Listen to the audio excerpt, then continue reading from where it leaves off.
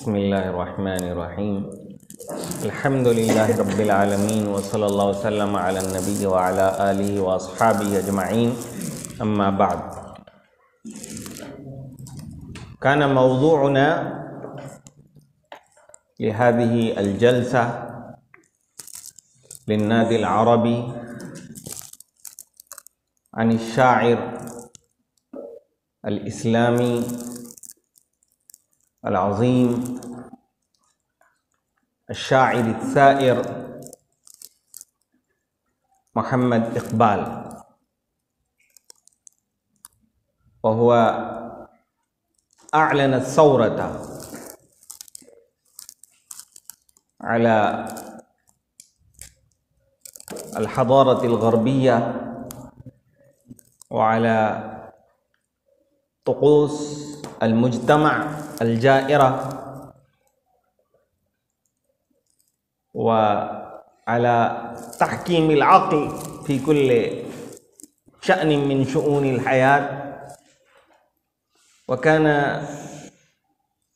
يؤثر العاطفة والوجدان والحب والضمير على تحكيم العقل والمنطق في كل شيء. فنحن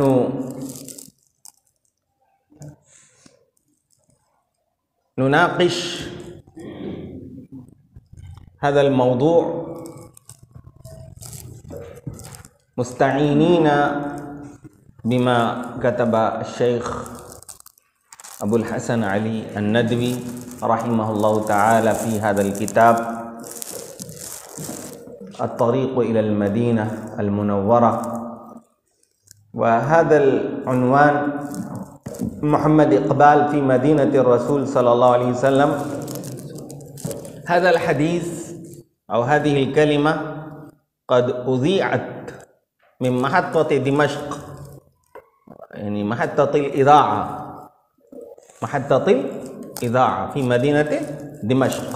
سنة ست وخمسين وتسعمائة وألف من الميلاد. وهذا العنوان محمد إقبال في مدينة الرسول صلى الله عليه وسلم. يثير سؤالا. وهو أن الدكتور محمد إقبال لم يحظى بالحضور إلى الحجاز أو زيارة المدينة المنورة على منورها ألف ألف صلاة وسلام صلى الله عليه وسلم. ولم يحظى بالحج والعمرة.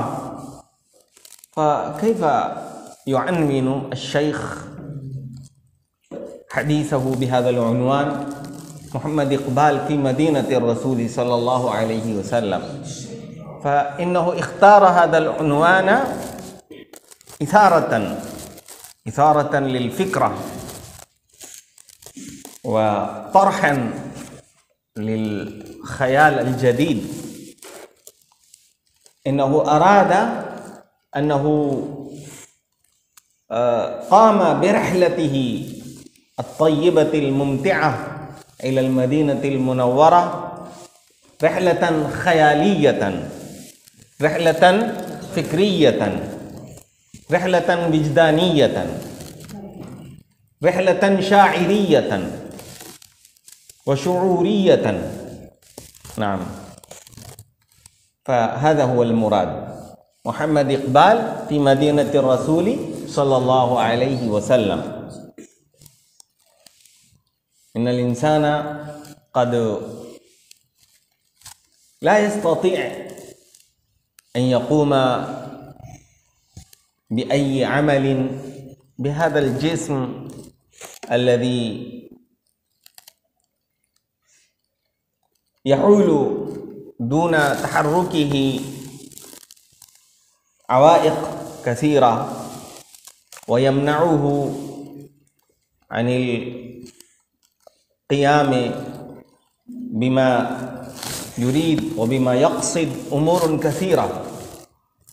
ولكنه يقوم بما يقصد وبما يريد بهذا القلب الذي لا حجر عليه والذي لا يستطيع أحد أن يفرض قيدا أو حظرا على هذا القلب الطائر المحلق. في الأجواء الفسيحة. نعم.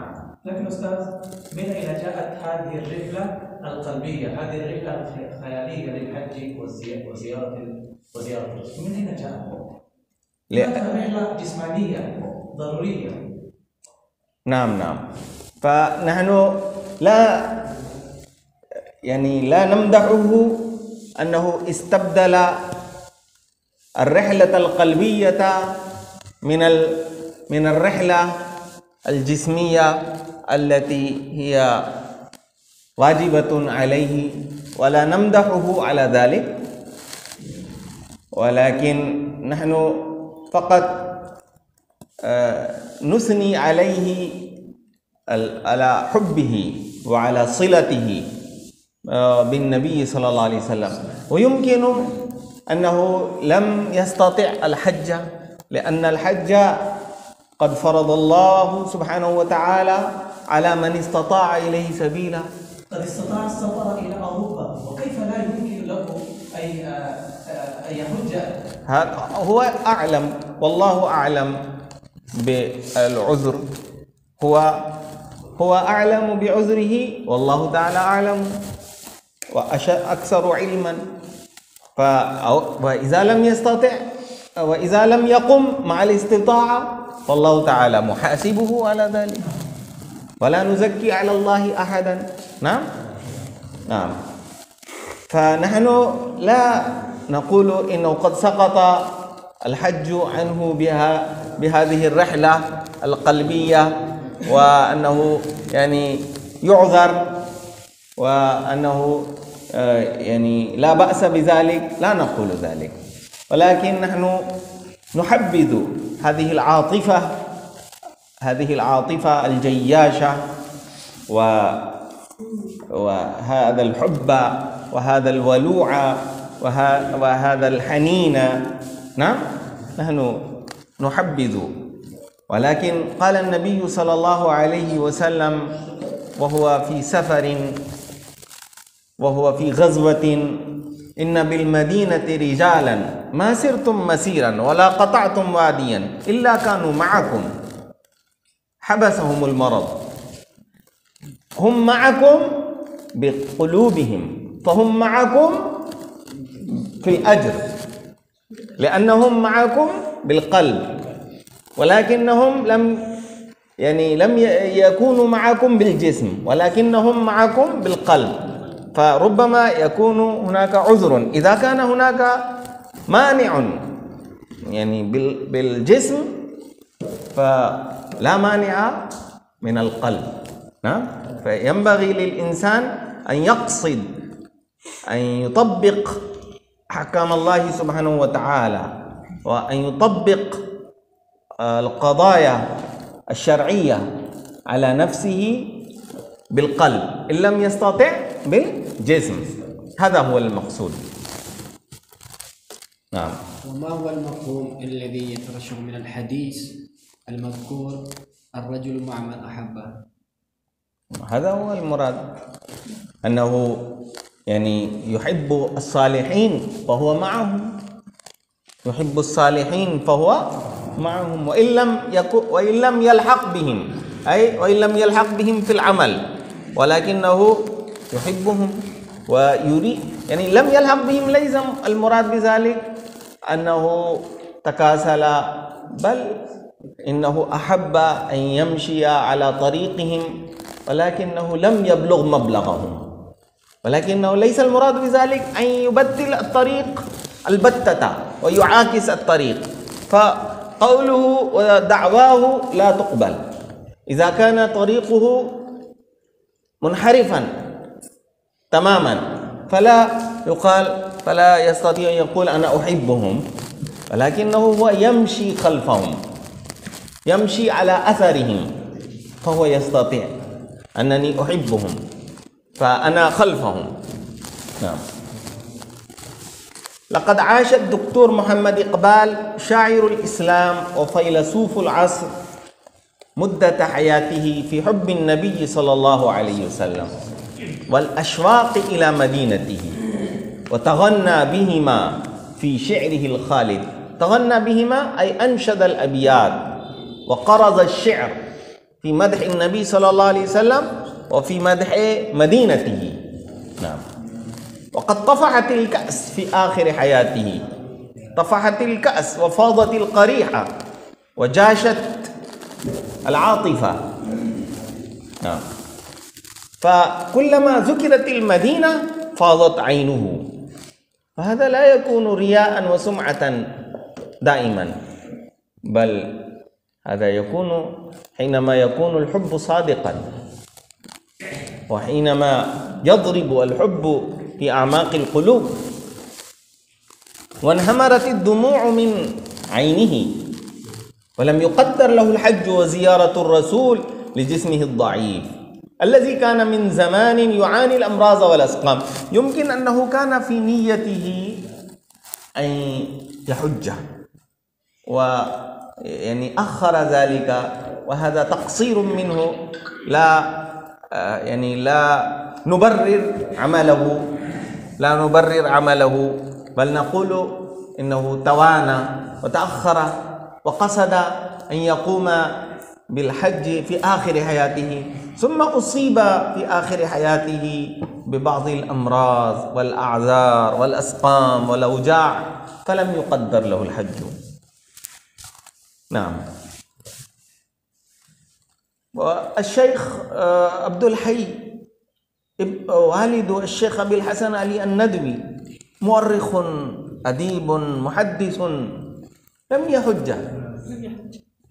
الشيخ عبد الحي يعني الذي كان أمينا ورئيسا لندوة العلماء لم يستطيع أن يحج. تعرفون ذلك؟ لا لم يستطيع أن يحج. والد سماحة الشيخ أبي الحسن علي الندوي. ف إنه لم يستطع. ولله على الناس حج البيت من استطاع إليه سبيلا ومن كفر فإن الله غني عن العالمين. أنا آه، ملأت الاستمارة. في هذه السنة. فإن الله تعالى آه، يعني إن قدر لي الحج فتأتي نوبتي. نعم إن شاء الله سبحانه وتعالى. ولكن ينبغي لكل مؤمن أن يحاول وأن يتخذ آه، الطريق والوسيلة. نعم لذلك. نعم. ولم يقدر له الحج وزيارة الرسول صلى الله عليه وسلم لجسمه ضعيف الذي كان من زمان يعاني الأمراض والأسقام. ولكنه رحل إلى الحجاز بخياله القوي الذي لا يمنعه شيء وشعره الخصب العذب وقلبه الولوع الحنون وحلق في أجواء الحجاز وتارا نعم. दिल एक तड़पने में, दिल एक तड़पने में, दिल एक तड़पने में, परे अर्श के पाया। दिल एक तड़पने में, परे अर्श के पाया। इस ताइले, ताइरे बेबाल की परवाज तो देखो। इस ताइरे बेबाल की परवाज तो देखो। दिल एक तड़पने में, परे इश्क के पाया, परे अर्श के पाया।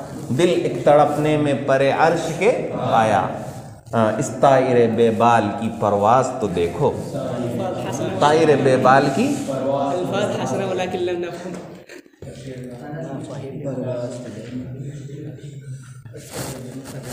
هو رجاء اهتشام ما رجاء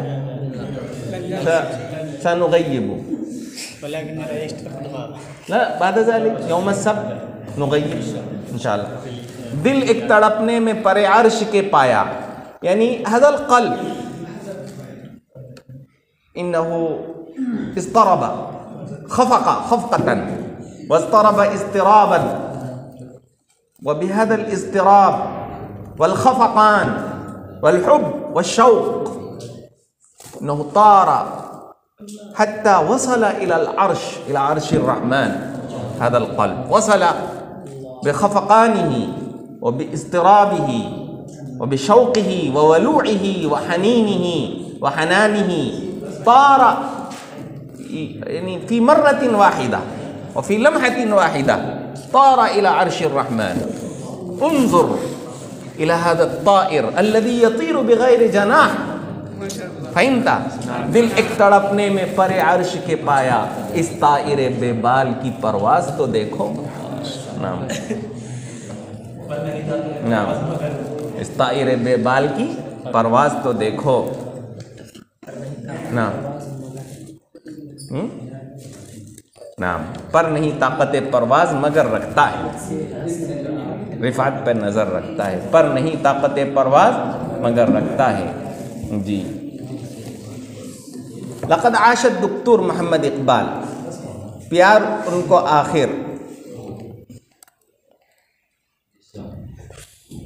نعم. ولكنه رحل إلى الحجاز بخياله القوي وشعره الخصب العذب وقلبه الولوع الحنون وحلق في أجواء الحجاز وتحدث إلى الرسول الأعظم صلى الله عليه وسلم بما شاء قلبه وحبه وإخلاصه ووفاؤه وتحدث إليه عن نفسه. أي هو آه، يعني أفضى إلى النبي صلى الله عليه وسلم بالخيال عن أسرار قلبه وعن أشواق نفسه وعن عصره وعن أمته وعن مجتمعه. وقد فاضت في هذا الحديث قريحة الشاعر وانفجرت المعاني والحقائق التي كان الشاعر يغالبها ويمسك بزمامها وينتظر فرصة إطلاقها. وقد رأى أن فرصتها قد حانت وهذا أوانها ومكانها. فخاطب نفسه بقول الشاعر العربي حمامة جرعى حومة الجندل اسجعي فأنت بمرأ من سعاد ومسمعي. تعرفون هذا الشعر معنى هذا الشعر؟ حمامة جرعى حومة الجندل اسجعي فأنت بمرأ من سعاد ومسمعي.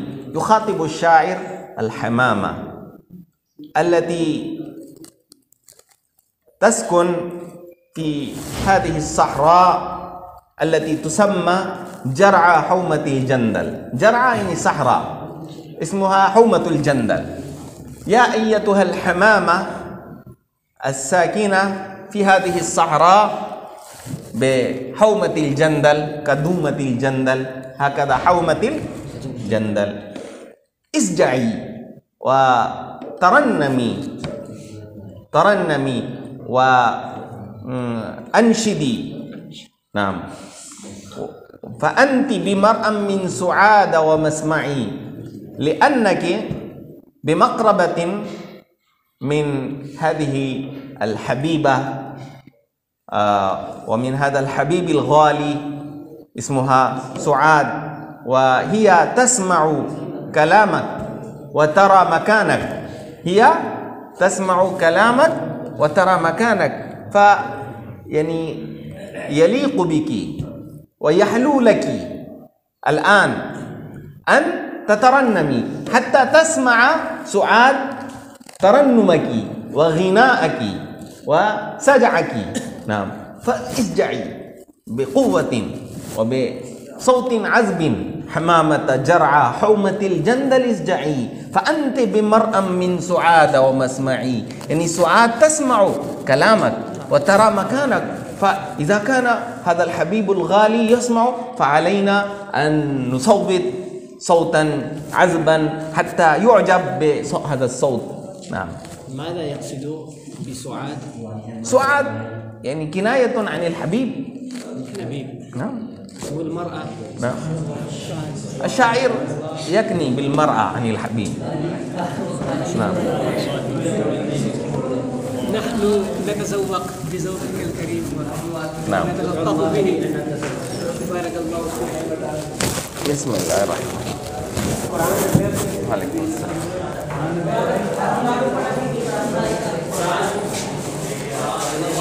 वालेकुम अस्सलाम क्या आ गए थे बहुत ये गलत किया तुमने? बहुत बहुत गलत किया। ये सब ना किया करो। यहीं बैठे रहते? अगर नहीं करना था तकरीब फ़ोन आ गया। फ़ोन इतनी देर तक रहता है? तुम्हारी गैर हाजिरी लगाएँगे सनीचर को। गलत किया।